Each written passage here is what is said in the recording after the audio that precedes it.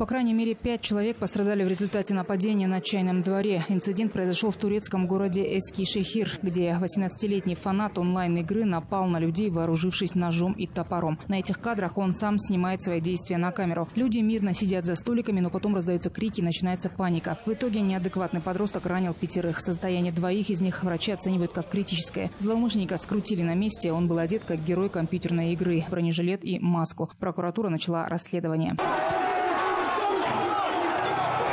Напомню, в конце июля в Британии 17-летний подросток напал с ножом на танцевальный кружок для младшеклассников в Саутпорте. Тогда три ребенка погибли и не менее девяти получили ранения. Подростка арестовали, однако атака вызвала массовые протесты в стране.